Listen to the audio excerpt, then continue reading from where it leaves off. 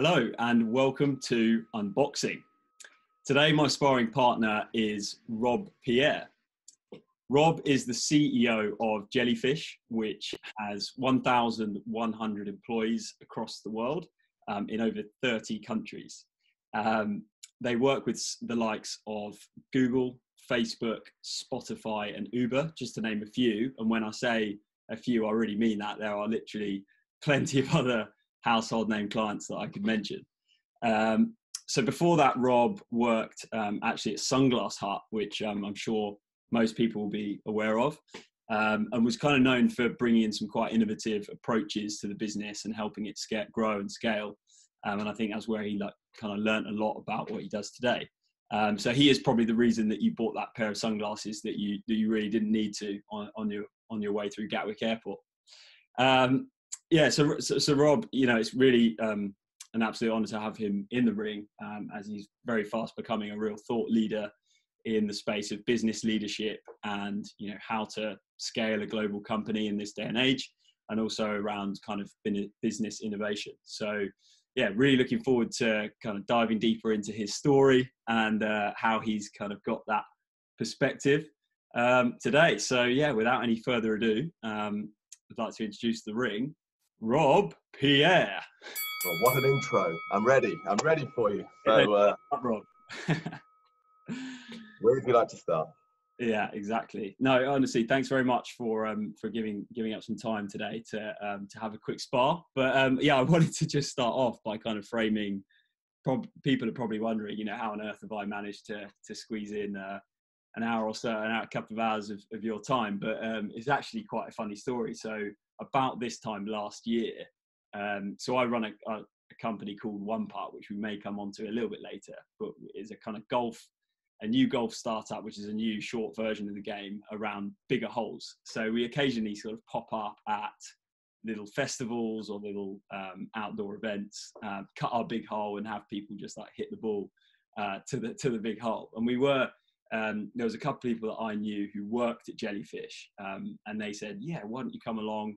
Um, and we're doing this Jellyfest event, which is a which is Jellyfish's um, summer party. So that gives you a little bit of an idea about what Jellyfish is like as a company, you know, doing a summer festival is their work work do. Um, so we so I turned up um, and I was cutting the big hole in the side of the, the festival, um, which was yeah an awesome day. Had a great time, um, and did really briefly meet Rob there, and we had a little bit of chat over a couple of pitching wedges.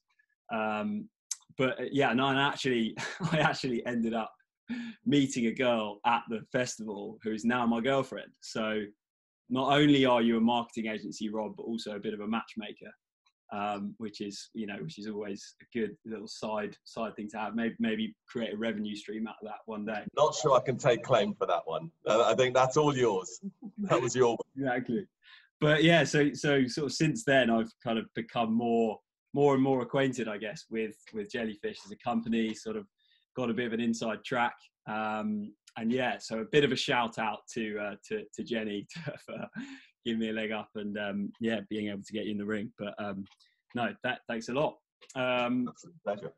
But yeah, I, I, just I guess the best um, best place to start would really be just kind of where it all started for you. Um, you know, a bit, a bit a little bit about your kind of school days, um, how it was, how you started growing up. You know, was there early signs of you know entrepreneurship and business, or how did it all start for Rob? Well, so if, if you want to know where it all started, let's go right back to the beginning. So I was actually born in Chertsey Hospital, and so lived in Woking. Uh, my dad was in the Royal Air Force, so he's from Trinidad, and he came over. He met my mum, and then so they uh, basically we set up shop in Woking, and then at the age of four, we all went back. So me, my sister, and my younger brother, uh, we went back to Trinidad. And so my whole childhood was actually in Trinidad from the age of four to 14. And uh, if you talk about were there any signs of uh, being an entrepreneur and entrepreneurial, entrepreneurialism, um, I think it was there quite early on. I mean, one of, one of the best stories is that I'd uh, almost got kicked out of my primary school for selling goldfish. I actually I actually made ponds in my in my house and I bred goldfish and I brought them in in little bags and was selling them to other other students. And that was, I must have been about 10 at the time.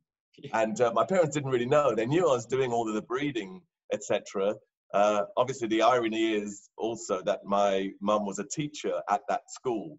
And somehow she would leave, the day she would leave early and go to the school to prepare, etc. I would then be bagging up the goldfish and going and selling them. And then, much to her surprise and shock, I was called into the principal's office and asked to obviously stop doing that. There were a number of reasons why it wasn't appropriate.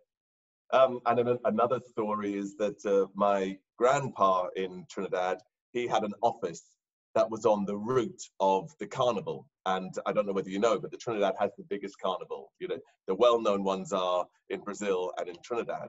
And uh, so knowing this, I borrowed some money and I bought a whole uh, a, a, few crates of drinks, sodas, and and, and uh, soft drinks, and um, yeah, I set up shop right in, in, the front of his office building, and I bought got buckets and ice, etc. And I knew, obviously, in the sweltering heat, that people will be going by, and I could sell it for four or five times the amount. And uh, yeah, so I set up shop then, selling soft drinks and making my pocket money. And to be honest, these are stories that uh, my dad actually reminds me of them. It's all a, a, lot of my past is a bit of a blur. It, it's all just happened so quickly, and obviously you were just naturally doing it uh, as an individual. Uh, but yeah, it was. Uh, these are all memories that uh, are uh, induced by um, the stories that my dad would tell would tell over time. But anyway, so those that's the sign that uh, I definitely. Going to ask, like on that, do you think that being kind of an entrepreneur is something that you are more born with? Obviously there's this like more you know is it born or made like being an entrepreneur or is it something do you think everyone can can be? It's just something i think every everybody can be and, and I, I, I just think it is uh, when you see an opportunity if, if you could see uh, where there's an opportunity and just how to get there. It's it's more about i would say um, whether it's leadership being an entrepreneur it's all around having a vision for what's possible and then motivating people to go on that journey with you. So it's sort of a strategy and a path to getting there. I couldn't have done all these things, how I learned how to breed goldfish, the help I needed to set everything up. I was convincing people to go on this journey with me every step of the way. And I, think that persuasion and uh, that leading from well, not even from the front, but that, yeah, I would say it's about getting people motivated to go on that journey makes a massive difference. And I think, I think you could be entrepreneurial without actually having to own your own business. I think uh, it's more about your approach to overcoming problems. It's, uh, it's every time it's being the solution, it's being positive about the, the potential outcome, and then having the drive and motivation to go for it. So I think anybody has that in them.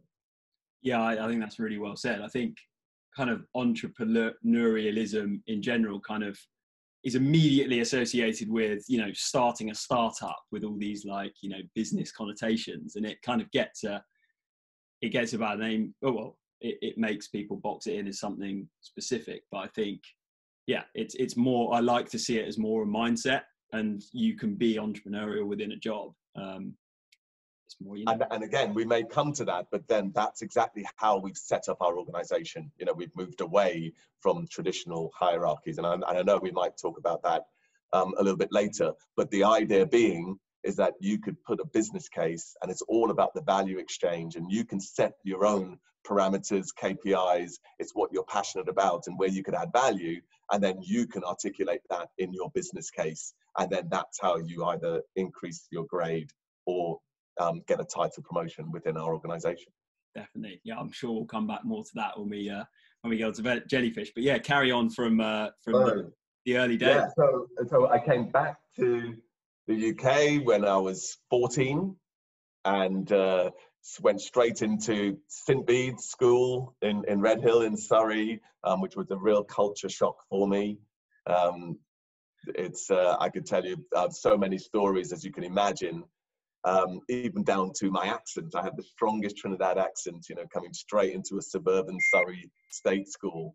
Um, yeah, it was really, really an interesting um, experience. And uh, what was really strange for me is that they, they, they got to these points where I didn't really know where I belonged because I came to England. Obviously, I was treated differently because I had the accent.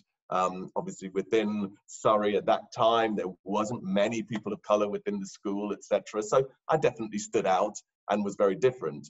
But how quickly I lost my accent and I conformed in my environment and started to pick up some of the uh, either the habits or the vernacular or, or whatever to become more English in my nature I still was treated differently here in England, but then I started going back to Trinidad, and then I was 16. I went back to Trinidad, and then they treated me like I was right. um, a foreigner. And then I suddenly thought, well, hang on a sec. Well, so where where do I belong? Where where is home for me? And I suddenly started to to, to understand that um, you've got to make your own belonging. You've, you've got to work towards what's important to you and uh, yeah, so that totally changed my perspective, and I had to work really hard to figure out what I wanted and where I felt I should or could belong, and um, and then just start working towards goals to getting there. And so, um, anyway, I, I uh, grew up uh, in Surrey. I lived in Horley, and I grew up in, in, in Surrey and went to school. And uh, probably one of the big pivotal moments was uh, did my A levels. I stayed at St. to do my A levels, wanting to know what which universities to go on to.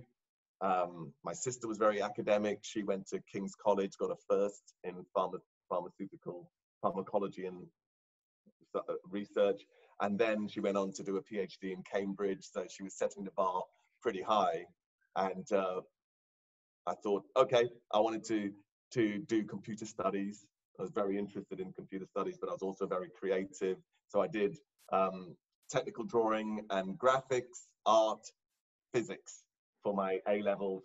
And then I applied to IBM to do a computer studies degree sponsored by IBM. It was kind of like one of these part apprentice programs where you got your degree, but you also um, had a guaranteed job at the end of it. And it was a very highly sought after course and uh, degree obviously you were paid to do it each, each year. And uh, so i applied. It was like a very long arduous application process. I applied. You'll be happy to know i got i got accepted to go to the two day um, session which was uh, all around it was like a really aggressive episode of the apprentice. And uh, we had all of these really clever people um, and we did group sessions, aptitude tests, lateral thinking, role playing, interviews. It was ridiculously intense. And uh, you'd be happy to know I was successful. So I got the letter and I've been accepted. I've completely changed because um, probably the bit I didn't mention is that the reason I came back to England, uh, my parents split up and I came to England with my mum, didn't have a lot of money, didn't really see, um, saw that a lot of investment and support went into my sister going through her education. And um, so, yeah, I just thought this was it. You know, it's going to be funded, computer studies degree, guaranteed job at IBM. I've made it. I told all my friends, all my family. It's brilliant. Of course, you can imagine there's a catch because, uh, well, without knowing my path, you may not know, but there is a catch. Of course, I didn't read the small print, which was pending my A level results. Yeah. And I did extremely well in all of my mocks, etc. But then I got an E in physics. Basically, I practically failed physics. Um, don't know why, don't know how. And uh, yeah, so because it's such a sought after course, and uh, they said they retracted the offer. So I had to tell everybody, oh my God, you know, I've now I've blown it. It's my first big failure. I can't believe I've told everyone, assumed I was going to get in. And then I had to reassess. So I thought, oh, well, what am I going to do now? So I thought I'll take a year out and uh, I'll make a decision, maybe go to Ravensbourne and do computer graphics, etc. So I had to go through all the application. talk about all my eggs in one basket. I absolutely assumed that was the route I was going to go. Yeah. And uh, yeah, so I walked. I lived in Horley. I walked into to Gatwick Airport and said, "I'll take a job for a year." And so um, went to Sunglass Hut and uh, got. I, I pretty much went asked, "Have you got any jobs going?" And they said, "Yeah, yeah. You know, oh, we've got a couple of uh, jobs. Uh, do you want an interview now?" And I'm like, "Well, I've been through the two-day interview from hell, so there's no way I can't nail this." I said, "Yeah, bring it on." Had the interview, got the job, and if I'm going to cut a really long story short, I didn't leave Sunglass Hut for seven years. And um, again, could tell a number of stories as to the journey I went on. But this whole entrepreneurial spirit of constantly overcoming the challenges, getting people on board, having a motivated team, to, and getting the best out of them is uh, you frozen. I don't know whether I did at the same uh, time. Very briefly, but I think it's fine. I think it's okay. Fine. So yeah. we'll keep going. And uh, yeah, so um, there were lots of things that I did along the way, but eventually became the head the, the, the head of all 200 and something European stores uh, from a sales and operations standpoint. Uh, I, at one point, I took my Gatwick store to be the number one turnover store in the world got called over to Miami to the to the headquarters to explain all of the things that I was doing in the store um, because it was uh, serious compound growth was being achieved in that environment. And um, yeah, and and so uh, after that, I went and worked for an entrepreneur for three years because uh, the reason I left Sunglass Hut was the president of Sunglass Hut moved to another company um, called Sanity, which bought Our Price here in the UK. And uh, but then I moved over to them with the aim of being the managing director of the European division, but could quickly see that that was not really the, the right move. Then I went and worked for an entrepreneur in Southampton, and that's where I then his name was Martin Mansbridge. He owned a company called Buykit, and uh, also he owned a chain of mobile phone accessory stores. And so that's why he wanted me with the retail experience for small square footage stores. But ultimately, that's where I really learned the cutting edge. And I don't think he would mind me saying, but yeah, uh, yeah I went from the corporate sunglass hut world sure. to yeah, yeah. The, what he called himself. I mean, he was a multimillionaire, very successful businessman, and he just said, "I'm a market trader at heart." So there was a lot of the ducking and diving and the really raw parts of business and owning the P and L, etc., that I learned from him. And then that's when the, the Sunglass Hut opportunity presented itself because it was around that time when you were, I was what, 30 at the time, starting to go on stag do's. We're all getting married. And yeah. so stag do's and weddings. And you know, you've got your core group of friends, but then you start widening your network because you keep going on these weekends. Yeah. Uh, bumping into a guy, um, an old friend, you know, we, we've got funnily enough now retrospectively we look at, at, there's lots of pictures of us together in different parties etc but never really hung out as a core group of friends. But during these stag do's, we started talking about business. He had an IT consultancy here in Reigate um, and started uh, with pay per click and being quite successful on the digital marketing side. Um, and he kept, we kept talking about it. And he said, from a sales, account management, business infrastructure, he kept saying, you know, come join, come join. I was believing my own hype. You know, no, I, I manage hundreds of people. You've got this tiny little consultancy in Reigate. Oh, no, you, you, this, this would never work. But eventually got to one of those stag do's and we'd had enough conversations. I can see his passion um, for the opportunity. And uh, he just said, come join, you know, we, we, can, we can partner and take it forward. And uh, one of these stag do's, it just happened to be the pair of us that was getting the train from Redhill to London and we had had no one else with us. Essentially, by the end of that train journey, I told him, I'm going to go quit my job. I'll join you and we'll take this forward. And so we rebranded his company, Avondale IT, to Jellyfish. We got rid of all the IT consultancy and network support clients, concentrated only on the digital marketing. And uh, that's how we created Jellyfish. Awesome.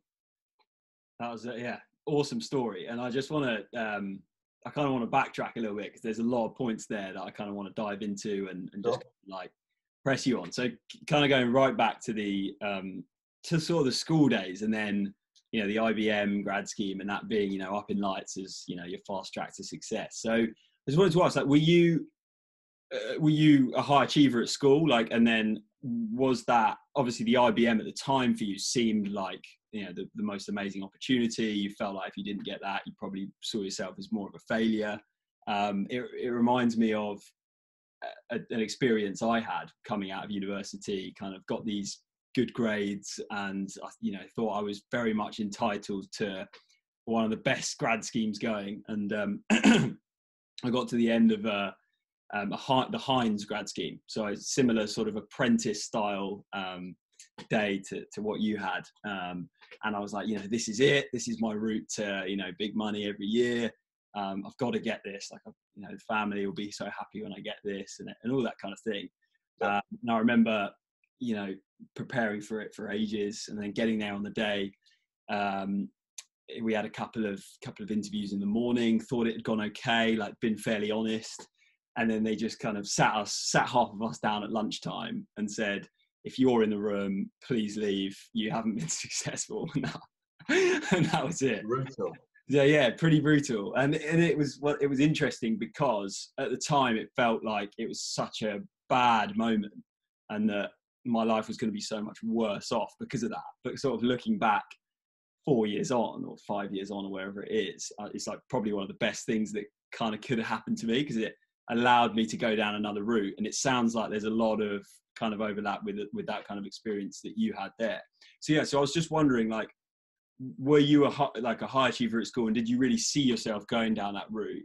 And now retrospectively, do you see how it, it was like happened for a reason or like how, how do you sort of look at that now in retrospect yeah i i wasn't a high achiever no i think my main issue and my geeky analogy that i use is that if, if i were if i were a computer i think my processing chip is okay right my hard drive has no capacity i'm constantly i feel like i have to dump information to take any more in but okay. problem solving Got it. I, I love so, so it, sort of more, remembering, you know, the textbooks. That wasn't your your forte.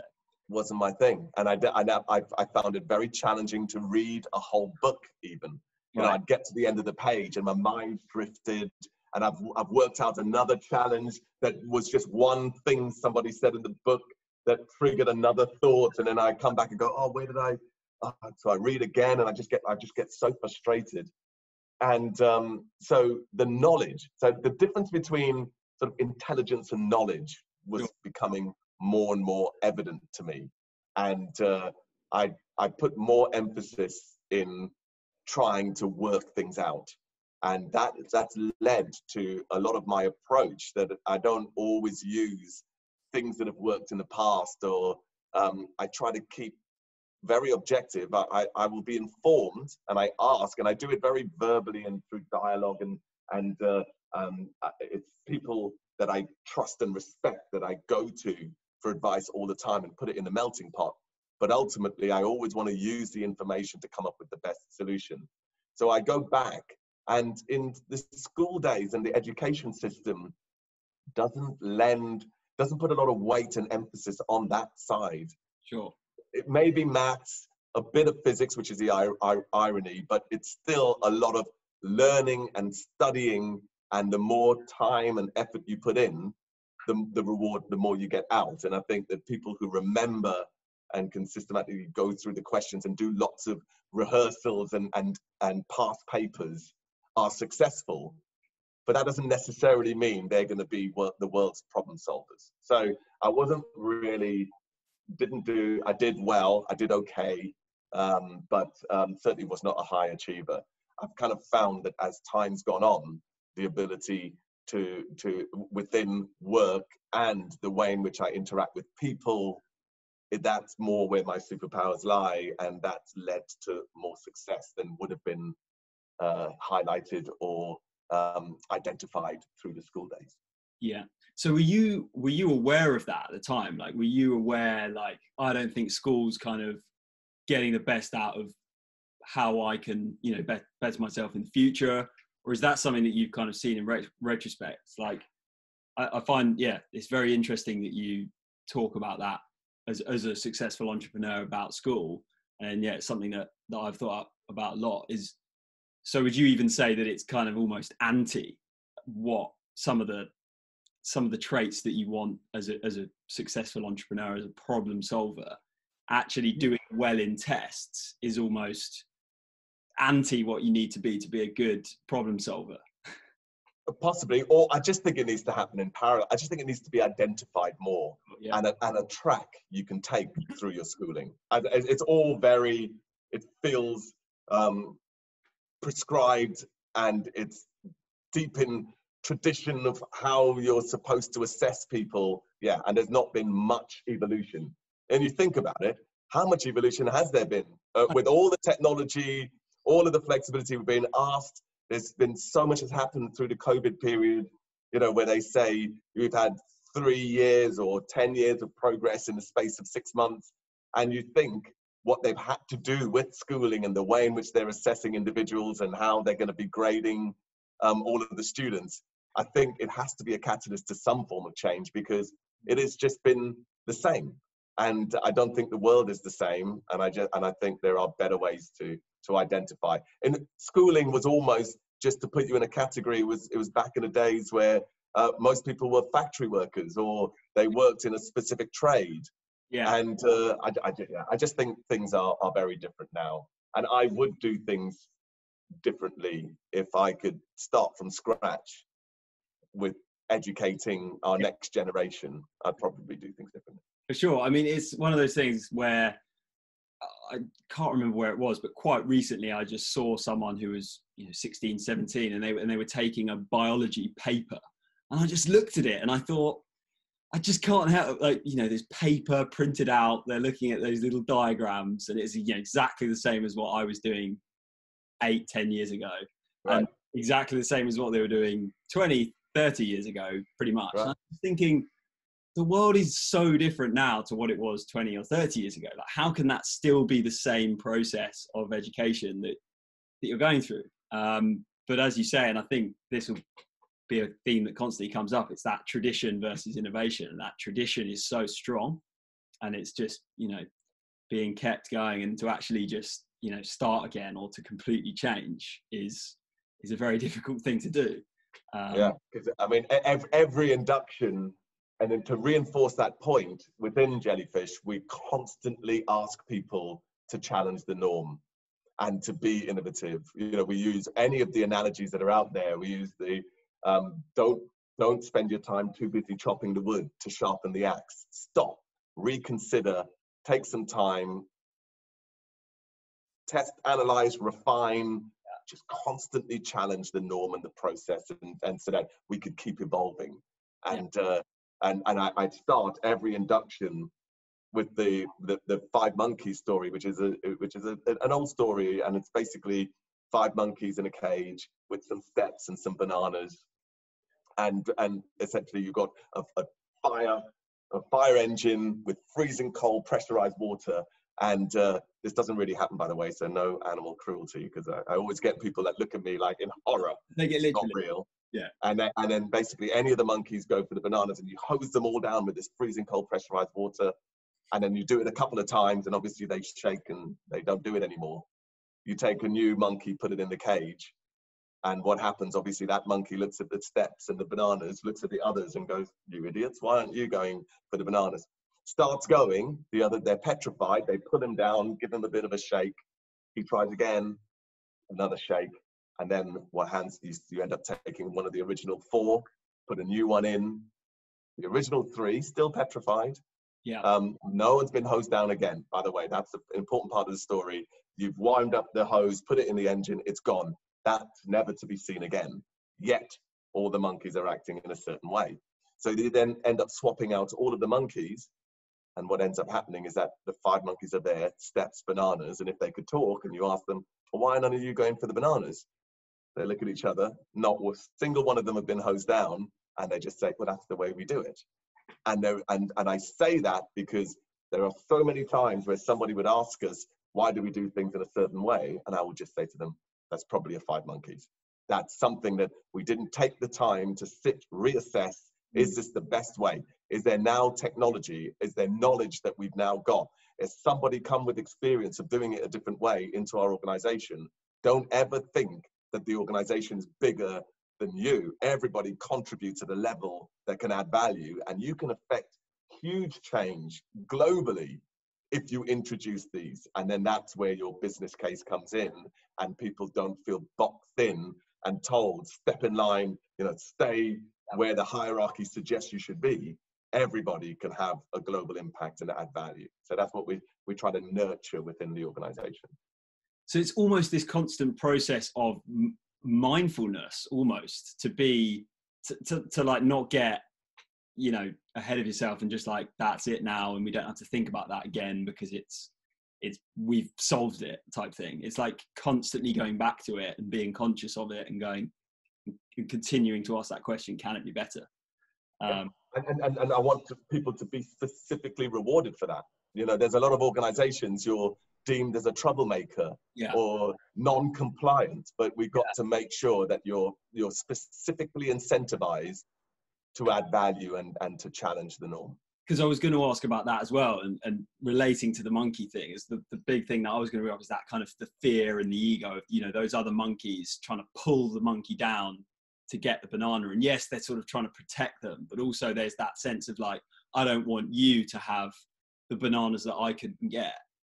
So is is there that sense of there is a lot of that, and I think that yeah, and, and that ego problem. Well, I, I, think there's ego, but there's there's also you know one of our primary instincts is self-preservation. You know, and and that comes from from life inherently. You know, you, we, we preserve our life, but also some people think their livelihood is directly correlated with their life. And when you when you when you, you your livelihood feels like it's being threatened, yeah, yeah, yeah. I think your inherent human nature kicks in, and yeah. you start trying to suppress others around you to elevate yourself and to keep yourself where you are. so trying to eradicate that is difficult. So the only way you can do it is build an infrastructure that allows other people to succeed and it doesn't compromise you or put your livelihood in jeopardy. And in actual fact, if part of your value add could be identifying and supporting people to fast track through the business, that's an important thing too. Sure. And so, how does that how does that sort of jumping ahead a little bit here but how does that look on like a practical level does it uh, i mean it, it sounds like that it wouldn't be very hierarchical in terms of normally you'd have to you know jump through the hoops and get your promotion but if someone is showing that they're they're, they're showing innovation and they're being um, given that meritocracy how does that work can someone therefore jump way ahead of someone else if they're yeah. doing better so, so where the pyramids were yeah, yeah. So the, the pyramids were there. We don't have any heads of. So, for example, we've got uh, the, the grading system and we've got the, the, the career stages. So you can go executive manager, senior manager, director, senior director, VP, executive VP, um, chief solutions officer, and so on. So you've got all of those stages, but you've also got grades because the other thing is that you don't want to have to change your job role in order to progress. Right. So the grading system is there working in parallel. That if you were, for example, um, a, a paid search specialist and you just love being a paid search specialist, if you keep adding value, you can keep putting these business cases through sure. for the value exchange, but you don't have to change your title. You could just be better and better. So, as an example, if you had the biggest PPC paid search blog in the world and was getting loads of traction and you were associated with jellyfish and we got leads and we were deemed as a as a thought leader off the back of all of your work then that's a value exchange that you could be remunerated more for because i think that's fair you could be um, for example you could be doing ted talks you could be um, training people you could just be a motivator. You, you know, you could be the mentor to a bunch of people. There's, there's so many things you could do without changing your job role. The problem we had is that, again, like traditional um, organizations, historically was all about the number of people that you managed. And uh, we ended up having all of these layers of people in management and all of these different weird and wonderful titles to cater for an old system. yeah. and uh, and it wasn't. I mean, our people. It's a very specific skill. It's a very different superpower to be able to motivate, drive, manage individuals. So it's not that you know necessarily, um, and, and actually it takes you away from doing the, the value that you've added over the time. So um, we changed it. So you've got the grading system where you could just keep going up in grades based on the value exchange. And then the, with the titles, they're career stages, but there is no head of. So we changed it so that you don't necessarily have line managers. You've got a support network. We're trying to change it that you treat your career like a hobby. You know, why do why do you find time in our busy schedules to actually um, have a hobby? Why? Because you enjoy it you're passionate about it. You often you want to improve you know if you're doing something on a regular basis you find your own measures to what success looks like and you find ways to measure measure your performance against those targets. Um, you find the time. You're often it's a community of like-minded people that you um, that contribute to your progression and you enjoy engaging with them uh, and there are so many parallels to if you could just take that mindset and that enjoyment and passion and progression and put it into your career, I think you'll be a lot happier and add a lot more value. And when you think about it, when it comes to a hobby, you're not reliant on somebody driving you. You don't have somebody telling you exactly what to do or getting you out of bed to, to every day or measuring your timekeeping and all of that, that those um, type of uh, measurements. You just do it because you love it, you're passionate about it, and you still seek help. You may have a mentor, you could have a, a, a psych, psychologist to help you get better, you could have a, a, a physical coach to get you better, you can look at YouTube videos, you can read books, you can ask other people, you can observe. There are so many ways we improve with our hobbies. And why are we self motivated to do that and own it for ourselves? That's what the difference is. So you create an environment where your progression is down to you. You can leverage all of the help you need. You've got a specific support network, but you could you could use anybody in the organization, and then you're valued. And you can and once those measures are put in place, and you've got clear KPIs for what success looks like, you don't you don't need a line manager telling you you've achieved them. It's black or white. Yeah. We're even thinking in order to to ensure that it's completely fair and agnostic, these business cases, because it's so tangible, we don't even need to put a name to it. But we, we, we could literally submit a business case. You could look at all the information involved and go, yeah, that person deserves a great increase. No doubt about it. You don't even know who they are.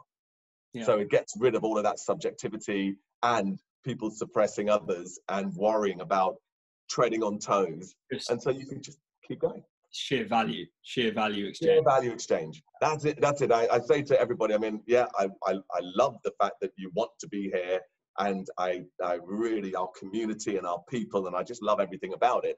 But ultimately, this is a, a business value exchange at the core. And if you add more value, you should be paid more, you should progress. And, um, and once we keep it and and that for me right there is you've summed up that entrepreneurial mindset whilst being in a job. It's that taking the, the self motivation standpoint and it's all about. But I, I, wanted to highlight a specific example there that you mentioned about for example uh, someone in paid search having a blog on the side which and just to just to clarify you mean it could potentially be you know a blog under their personal brand rather than jellyfish's brand. Yeah an example like that is a lot of traditional companies would almost see that as a threat. They'd see it as oh, you're trying to get work and you should get all the work underneath our house and don't, you know, don't say too much on your social media and, and this kind of mindset. But it's amazing to hear you have almost the opposite mindset to that.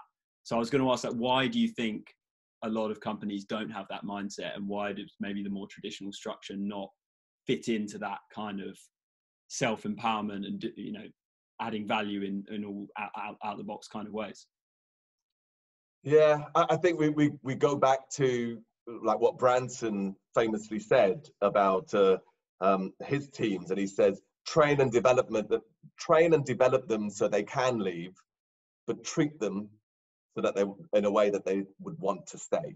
You know, all of this, anything suppressing anybody thinking that's what's going to keep them in your environment and get the best out of them, I think that's a, a, core uh, mistake. I mean, that, that's something that I'm not interested in. What I say to everybody is that create your own brands. I would, I think it's much better than to have jellyfish as the brand and say, oh, look at all of these people, mm. than to have a thousand recognized brands and then they find out they're all associated to jellyfish. It's more that way around. I want supreme, brilliant people who have no constraints and can go out there and share and be thought leaders and and uh, um, get that exposure. And I just want everybody to go, that is a brilliant person. Oh, again, jellyfish associated with jellyfish. That's a brilliant person associated with jellyfish. I can't, every time they keep coming up, and whether that's to start with or even in their in their history, that's what I want. I just I just want to be able to enable people to be the best they could be, to be their best selves, and to enjoy and be passionate at work. And then we as a collective community benefit from that. Amazing. Yeah, really, really cool.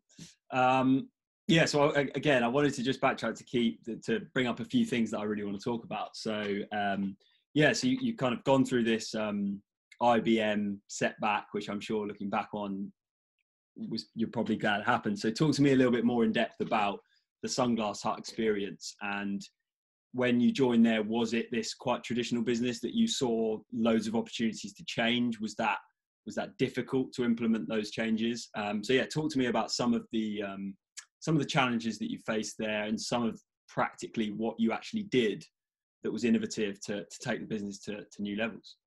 So it was it was an amazing uh, business from a development standpoint, but most importantly, the autonomy that you end up having. So at a very young age, you're responsible for the store P&L, all of the inventory, the quality of the members of staff, recruitment, um, performance management, cashing up, merchandising. You know, it, it literally, you had this small business unit, and at 20 years old, you're you've got the full accountability to run it. And so, and so I learned a lot. And if you have the right mindset that you want to overcome, you embrace those challenges, and you want to overcome um, all of the whatever constraints you feel there are within your environment. If you always stay positive and want to be the solution, it's a great place to be and everything. So, so many things that I did then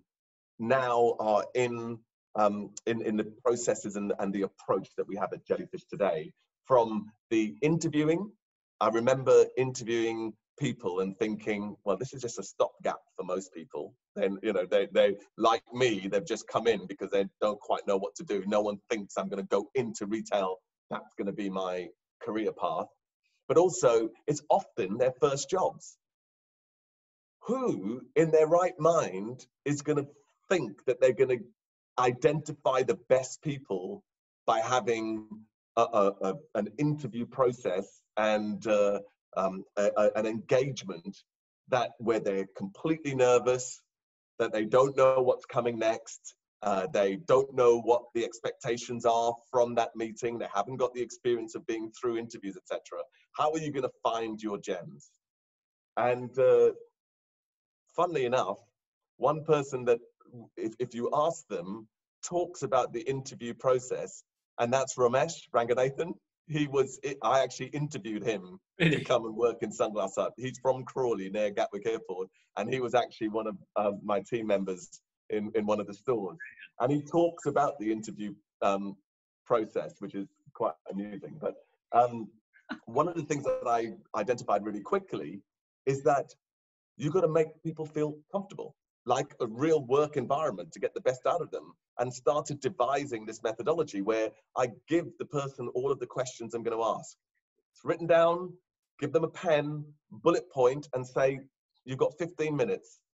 Think about it, bullet point. I'm not going to take this off you. This is just your own cheat sheet, but you're going to know exactly what I'm going to ask you, and I'll come back in 15 minutes. And then just instantly, not having the anticipation of what that that question is going to catch you out or what I want from you and giving you time to think. Because in most scenarios in a work environment, you don't have to answer straight away in a quick fire pressurized environment. So that was one of the things that I learned early on. So I started doing that at Sunglass Hut. But I think it's more about the, the problem solving and uh, and also observing things that happen around you and applying that to your own environment. It doesn't have to be your idea. It's the application of great ideas or great initiatives that you could bring to your own organization. In in that case, um, a, a, small story would be I was walking past Bally, the shoe shop, and uh, the manageress, she was like pulling down all the shoes. I was like, oh no, are you guys shutting down? And she said, no, no, no, no, we just had the Lagos flight. So we're taking down all of the size sevens. We've now got the Jap, we now got the uh, Tokyo flight. So we're putting up size threes. And it's only because they have a very short window. The demographic completely changes within three minutes and they want people to go around and just try on the shoes quickly. They don't have time to going back and forth. So they're changing. And I'm like, oh, that is so obvious. And I go, I literally skip back to the store, big huddle. Right, we're going to change the front of the store. I'm going to change everything for each flight. And instead of standing there mindlessly cleaning lenses, we all had a purpose. Yeah. And it was and it was exciting because we were thinking, I was like, you get the flight schedule, you work out what demographic are going to like what type of sunglasses. You get all the POS materials so we can get the right posters to appeal to the right demographic. Next minute, we're doing that and we're sort of re-merchandising the store between, um, it's like a military operation. And then I start coming in and in the back room, I've seen they've done a deal with WH Smith and they're getting like all the local Vogues and they're actually doing research on what type of glasses are trendy in what markets at the time. We're ordering different POS from the global Sunglass Hut team, and everybody, and, and they're all thinking, what's going on in the store? We're they're starting to see that we're doing things differently just from what we order, how we order, the type of glasses. And then what ended up happening? Well, yeah, of course. The, the US flight comes through, it's Maui Jims, Oakleys, and Ray Bans, the the uh, Italian flights go through. It's Giorgio Armani and Chloe, and then Yakimoto for the uh, for the Japanese flights, and it's Cartier and Versace for the Lagos flights. And we are literally changing the store, and you could physically see, you could see them. You know, their trolleys, and they're looking over, and they're like drawn to the shop, and they it was brilliant. Yeah. But that was just the start of it, because of course, when you get four times the number of people across the lease line we've only got so much space in the store. So you can only store so many sunglasses. And so we started running out. We kept running out of sunglasses and we didn't have time in that one hour to go to the remote stock room. And so most would say, well, there's nothing you can do about that because you've got a physical amount of space, nothing we could do. we thought, no, there is something you could do. We, it's because it's a bit like that scenario, you know, when you go to the shoe shoe shop and and uh, you love a pair of shoes, do they have your size? Yeah. And you, you know, and then you're like, oh, they don't have your size. You know, the store manager's going, oh, I could sell so many more shoes if everybody was a size nine. Yeah. Then I can just have all size nines. I can't run out. Yeah. Take that concept. Why don't we just get everybody to buy a select few of styles, but we could just stock them deep. So what we did is we the ones in the posters, the ones we knew were the best sellers, etc. We put an eye level all around the store, and then all the others were just to give the perception of choice. Right. we knew which ones we were going to buy, and so instead of having three of each style, we had 25 of the styles that we knew we were going to sell.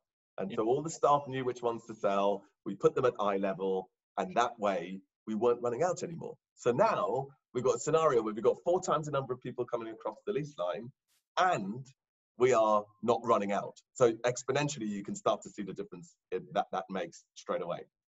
And then the list goes on. The, the, the, they used to come in boxes with the case, and yeah. but all the cases were the same.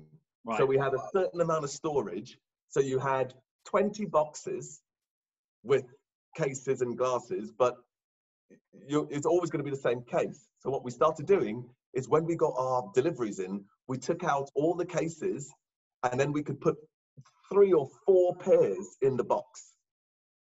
And we just had to have, as an example, we just had to have 30 cases. It didn't know, it didn't matter which style somebody took. We had, we, we, we would just use the, the same generic case. And so again, we increased the capacity of the store. The only reason I'm telling these stories is because it went this 300 square foot store. We totally transformed the capacity and the amount they could sell. And what they saw was they saw a store that that was quadrupling its turnover in a multi-million environment. And so that's what turned heads. They were like, what is going on in the store?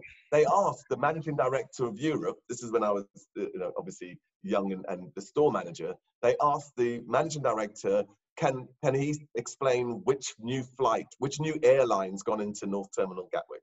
What's, what's changed? What, what macro change has happened? And they looked at it and I said, nothing. The only thing we can see, the only variable we can see is this young fella called Rob Pierre's gone in and uh, he's the manager of the store. And so I get a phone call from the president of in Miami and he's like, come over and tell us what you've been doing. We're interested. Like, and how old are you at this time? 20, something like 20. Yeah. Brilliant. Okay, so you, you went over to Miami, and how did that how did that go? Well, I just basically told them what we were doing, and it just and they said, "I want you to do more of that." So I, you know, I, I, looked after all the airports. That, well, all in Gatwick, then all in Heathrow and Gatwick, then all the airports, then south of England, then the UK, then Europe, and so it just progressively. They just wanted to see more of that, and and it's and um, they're just small examples of the many ways in which we just kept changing. We, we had fun with people, you know, we, the, the way in which we did our sales training, KPIs. It's all about measurement. You don't have to ask somebody to change their behavior if there's visible measurement. Like we go back to the passion and owning your own career. Yeah. If I said, if I listed the 20 people that worked in our store and I had each KPI, so for example, number of units per transaction, average transaction value, accessories percentage, um, I, I, had about five or six of them, and I just ranked you for each KPI, ranked you one to 20. Yeah. And then added it up, and basically the top three get lunch, get their McDonald's or whatever. Um, and the bottom three, we used to have these challenges. So, for example, um, we our store opened at five in the morning, closed at 11 at night or 12 at night, something like that. So, on the three month run up to New Year's Day, the bottom two in the KPI table did the five o'clock shift on New Year's Day.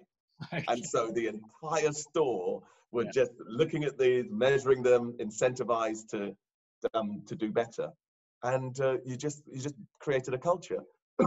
what ended up happening is that our attrition was less because um, people people wanted to see it through almost. You, you, when you had those targets or we were remerchandising the store, people wanted to know what the outcome of that was it, it just, I could tell you so many stories. I mean, we, that we started realizing that when you re-merchandise the front of the store, we started looking at people's behavior, and some people and some flights walked in, and when we merchandised the front, went right around the store, and then some went left. And we started looking at it, and then when we did the analysis, it was all of the Commonwealth countries, the UK, Commonwealth countries, etc., were going left, and then, of course, it was the US, continental Europe were going right. Yeah. And that's the way we drive. Obviously, the way you approach a roundabout, your natural instinct. And I think that's why if, if you were to walk down somewhere in the US and you're walking towards people, you try to get out the way on the left.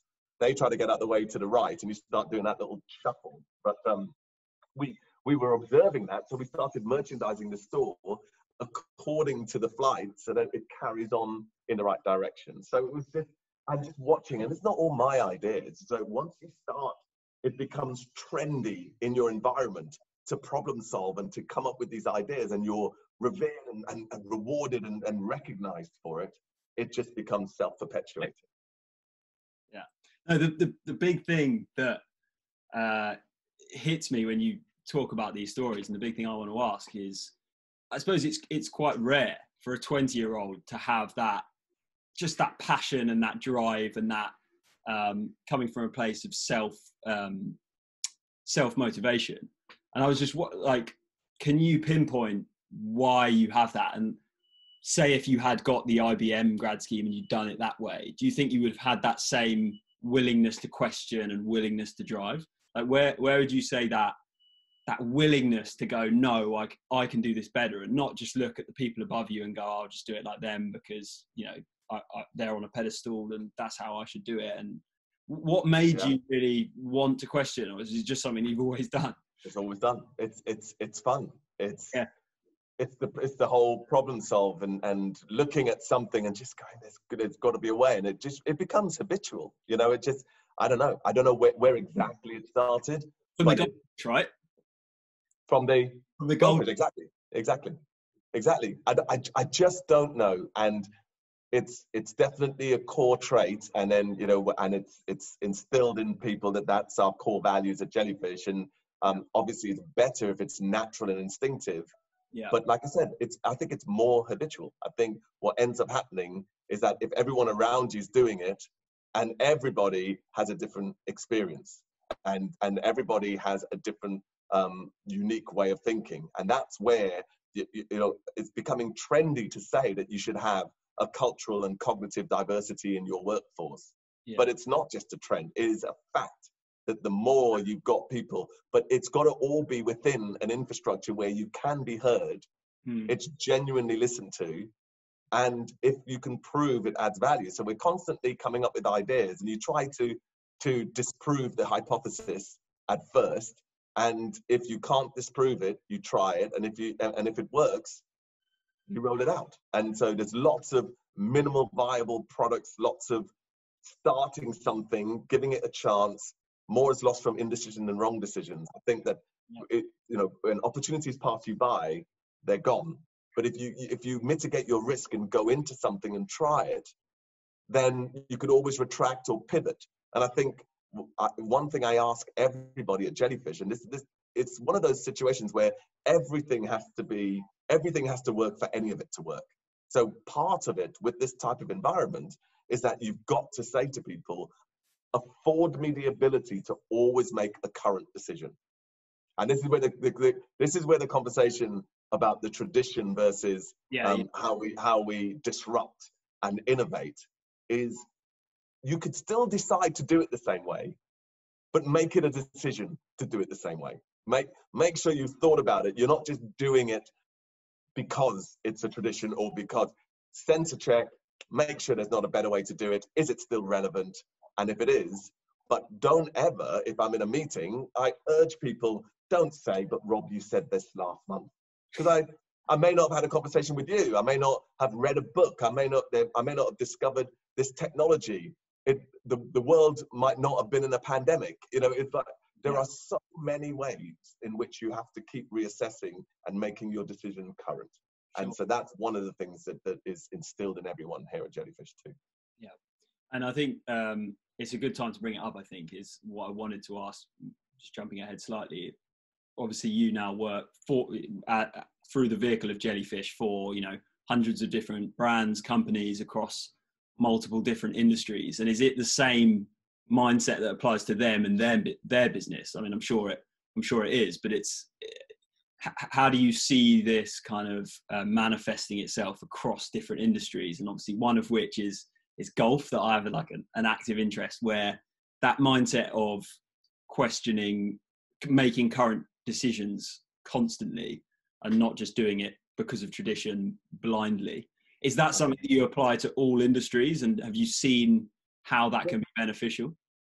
Well, well, we apply it, but it's difficult because again, when you're in a true partnership, you need both parts of the partnership to have a similar yeah. mindset and and process.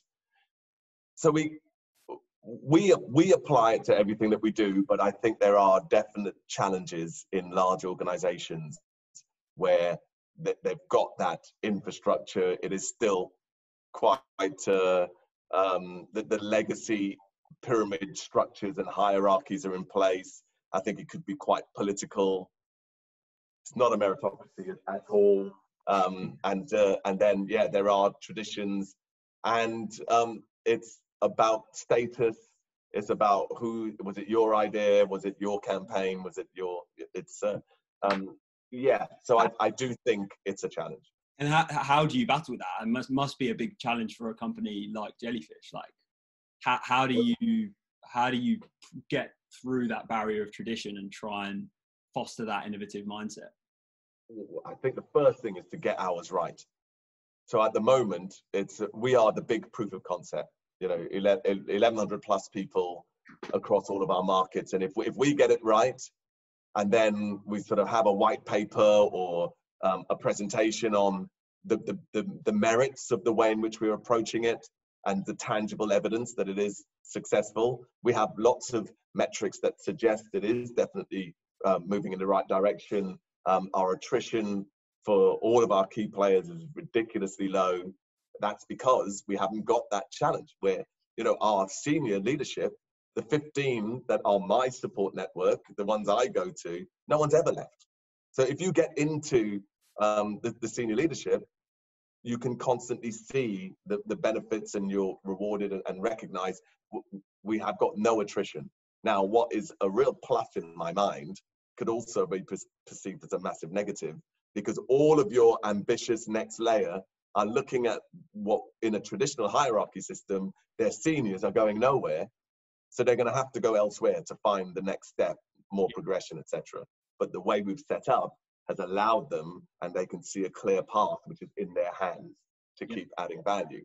So I think we just need to get it right, be able to demonstrate, show those metrics and all the, the success that we're achieving through this methodology.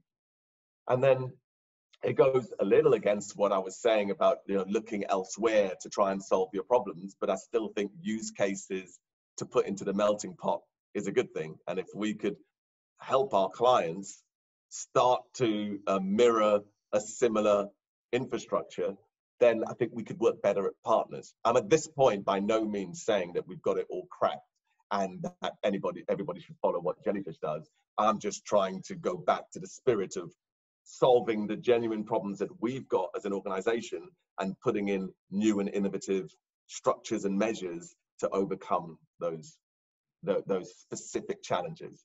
And if that inspires anybody else to possibly go in a similar direction, etc., then that's great. Because as I demonstrated with the the Bally shoe store, yeah. I don't take claim for everything that's going on, but I'm definitely observing what's happening around, and will take all the good bits that I think plugs in nicely to the way that we do things. Yeah, it's it's a really interesting area. It's certainly one that I'm definitely uh, interested for many reasons. But let let's use. I wanted to bring up the topic of golf. Obviously, you are a keen golfer yourself. Um, I wanted to bring up the topic of golf because I guess it's a really good example because you look at uh, the sport of golf and it's a very traditional game, especially here in the UK. You know, there's everyone knows that the stereotype of golf is you know men's only clubs and started in St Andrews in you know 1400s whatever it is. So it it it, it breathes tradition. It absolutely smells of tradition. Um, and and much of the tradition in golf is what makes it great but then at the same time it's also got this massive problem of how can we keep the sport relevant to th- this day and age? And it's a, there's lots of problems been talked about by all the leading bodies in the golf world of you know how do we keep it relevant whilst maintaining those traditions that we know and love? So I, I wanted to sort of ask you know what's your standpoint in terms of how does an industry like golf, or how would you say an industry like golf does adapt to that change because there's so much of that tradition holding it back? Is it something that you need to just keep continually working on that tradition and try and tweak it and change it? Or sometimes do you need a completely separate, new, start again kind of? Do these corporations need to more think in that like reinvention, start something completely separate? To actually make a change and go alongside it? Where, where do you sort of stand on? That's a great that's a great question. I think it would it would lose its essence if you you'd have to call it something else if you scrapped and started again. Uh, so I I definitely think evolution is the way forward. I think when you look, I think some golf courses, not just jacket and tie when having dinner, you had to wear a tie whilst playing golf. You know, places where you have to have knee length socks with your shorts So there's like a tiny gap like that on your knee where you you're exposed to the sun. It's like what what is what what what is that tradition? Why was it there? And what's it achieving today? So I, and I think is it still relevant? Is it does it adhere to all of society's views and the progression that we've made um, as, as either a society or community? So I think we have to keep looking at how life is changing when you could leisurely play for four or five hours and then get changed and have a dinner. That, that those days are, are over. And I think there's even even if you go into the the um, the game itself, I challenge some of the thought process anyway. You you look at what when you watch golf on television or um, you, you look at the fact that half of it is on the green, for example, and that's not the exciting part to watch. Shot making, you're putting these golf courses on however many acres of land, and you've got all of that that you do before you get to the green, yet so much emphasis is on what happens on that small surface area of the green. You might as well just have 18 greens and have a separate tournament that's just putting. Yeah. so I think it's a shame to have such a big outdoor sport that comes down to this small area. So what your you know your company and what you're looking at is just like uh, with the bigger holes. I think that makes a lot of sense. So that we take a bit less emphasis. So chipping, pitching in, all of the shot making become gets more emphasis, mm. and then the whole I believe, just needs to be bigger. And I also believe that the length of time it takes you know can we get young people who who operate differently the way we live the how we travel etc i think that maybe 18 holes it doesn't need to be 18 holes you know why not 12 holes and 12 holes is just enough time i also think that the social nature of it the reason why sometimes it takes so long is that people just come in drip feed into the bar then you, you conversations happen why can't we have everybody together after the tournament. So we should have more shotgun starts. You know, everybody goes up at the same time, we finish at the same time. Then, if you don't have all the tradition where you have to go in and change and shirt and tie, if you could just all relax, go in, have a drink, you could do the presentation from the competition. And I just think all of these things together will make it more accessible, uh, you know, more likely to be able to play, um, just quicker, more appealing, and I don't think it will ruin the essence of the game. So I, I do think there are certain things in life and tradition that I do respect, but I am always questioning is it relevant to the world today? Yeah. And there are a lot of traditions that obviously still are. There, there's lots of things that you do um, in life that uh, and uh, that are still applicable today and just nice yeah. to, to, to have that um, tradition. And i think that's why why golf is such a great example. So for example for me the four majors which are you know the four big tournaments throughout the year that the pros play like for me i would never really want to change any of them because everyone knows and love them they work they attract huge crowds you know. Even non-golfers can enjoy watching a major. But it's you know it's the thousands of other tournaments that go on that probably need um, looking at in terms of like engagement. But the interesting point like if you know if all of if everyone was like you or or i you know being saying right we're going to quickly just you know make the hole bigger in one of these pga tour events it would be fine because we'd be like yeah we completely get that. But i think the problem is is you've got probably an older generation who are looking at it and if they heard that they would be completely resistant to it and probably a, a, a body like the pga tour or the R&A are so are so entrenched in golf world. They've probably grown up as golfers. They've you know played lots of golf all these decision makers throughout their life. They're not necessarily they hear the, the solution of like potentially make the hole bigger and it just sounds so out the box and so ridiculous to them that you could change the size of the hole that it almost seems stupid rather than a than a kind of actually practical solution to make yeah. that's that's why i talk about that's why i spoke about before like do you need to potentially just think about it as a kind of not uh, like and I, I completely agree with you on the point of it it's not you're not trying to rip golf down and completely change it and I think traditional golf will st- keep as traditional golf, and the majors will always be pure golf, traditional golf, kind of as they are, because that works even to this day. But I think there needs to be a separate, a bit like 2020 cricket and Test cricket, is there needs to be that kind of separate entity, um, which which stands as a as a separate thing and, and actually kind of complements traditional golf and feeds people into that game. So that's what we're trying to do with one part is, yeah, is see ourselves so. as, as, a kind of separate separate sport almost that that doesn't that doesn't detract from traditional golf, but but adds to it and, and sits as that bridge. Um, so yeah, yeah. I, am and I'm all for that. That that is that is the, the, the principle of reassessing and uh, overcoming yeah whatever challenges people have with golf today and the appeal of golf etc i think it's uh, i think it's great. Um be interested to to track the progress. Yeah. When, when you know. yeah. Definitely good to put your brains um, going forward with it. But um yeah one um one other thing i just what i noted down i really wanted to just like talk about a little bit more because it's quite interesting is this this Jellyfest. Um it's obviously the first the first uh impression I had of the company. But it, why why a festival? Like what what is the actual? I was actually going to ask another question as well: is why jellyfish? Why the name jellyfish? And then why why Jellyfest? And why is that so important for the company? So the jellyfish question is we at the time had six people and we sat around the table and we said, let's go from A to Z. Just say the first word that comes in your mind and we just went from A to Z. And we said a brand is what a brand does. We don't want it to be, we don't want to get into like a Carphone warehouse situation where your brand name, when last did they sell a Carphone? You know, it's like, it was one of those things that um, let's be like Virgin. A brand is what a brand does. It's what it stands for. It's about how it makes you feel, what it what it represents for um, the, the level of delivery and trust and equity in that brand. So so we weren't too fussed to call ourselves at the time PPC champions or leap to the top or any reference to what we were doing. So we just keep it reasonably generic.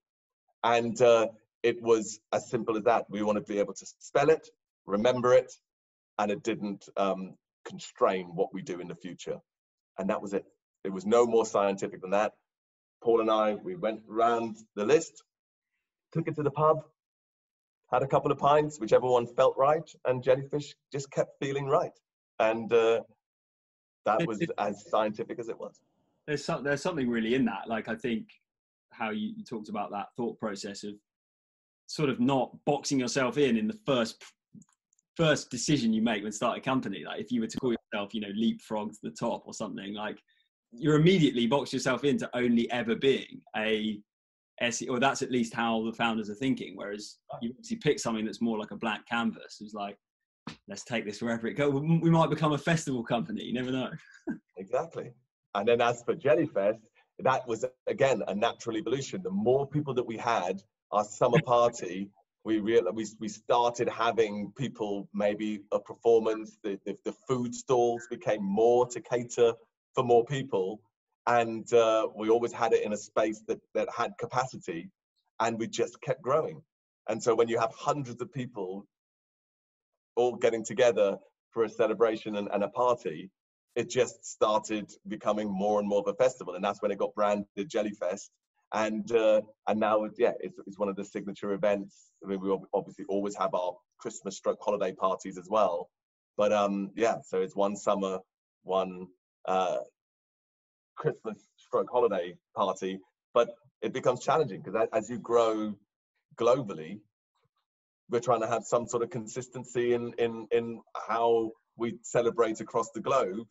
And logistically it becomes difficult. I mean throw covid in and it's yeah. impossible basically. So yeah. um, but yeah no it's a um, it's a great event that everybody looks forward to. And uh, we put a lot of emphasis in how we can help our teams i mean we're not quite in the google and facebook category where i think their revenues per full-time equivalent is enormous and sometimes we are benchmarked against them actually which is a bit of a challenge for us as a partner of google and facebook and a service business where our revenue comes from the people delivering those services uh, it's different when you're like google and i think it's like 1.4 or 1.8 million in revenue per person that full-time equivalent, I mean, I'd, I'd be buying my staff Ferraris for Christmas if that was if that's what we had. Well, I won't give Jenny any ideas, but uh, yeah. No, she yeah, she's very she's very um very gutted about the uh, Jellyfest being cancelled, and uh, yeah, it'll be a shame that um there's no there's no big hole on the side being uh, done this year. But uh, yeah, it was going to be it was going to be last it was last Friday, wasn't it? So it would have been this week. Yeah. So you just in the in the calendar for 2021 now, is it? Exactly. Good stuff. Right. I, so that was that was awesome. I'm now just going to move on to the the final round um, of of the bout, where I just throw. I'm just I'm just delighted I made it to the final round. Okay, let's see. Exactly, you've done well. You feeling feeling a bit tired myself, but no, it's uh... right. So uh, in it, the first question I have was, um, I think there's potentially like a few that you sort of mentioned, so I'm interested to see which one you pick. But if you had to pick a before, sort of before after moment in your life that changed it forever in some way, what would it be? It, I mean, they both happened at the same time, pretty much. I think it's when I held my daughter and said, I got to look after, I got to provide and look after you, this little human being. Yeah and uh, any parent will tell you that is just one hell of a moment that it really changes your paradigm.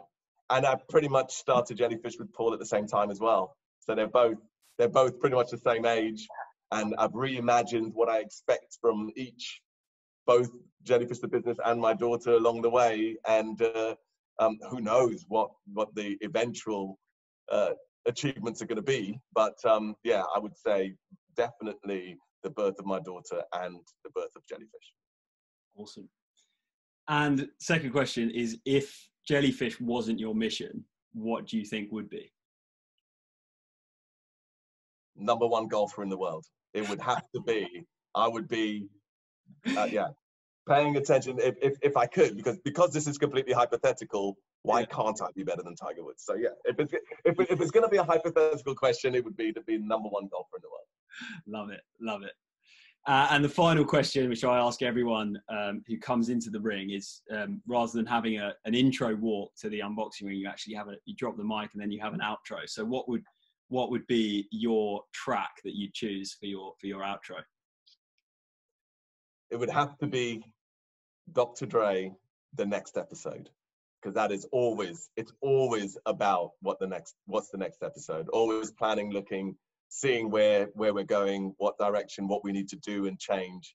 And so it might be a bit explicit. I don't think, and it's not going to be for every crowd, but yeah, definitely the next. Into the clean version, but uh, yeah, exactly, exactly. No, good stuff. That's a good. It's a good. Uh, it's a good boxing track as well. That one. So uh, I'll round it off nicely. Rob, thanks so much for uh, for giving up time. It's been brilliant to spar with you, and yeah, hopefully, hopefully I get to do it once in the future as well. Absolutely and good luck with the series. Yeah, thanks very much. All right. Thank you. Cheers. Cheers.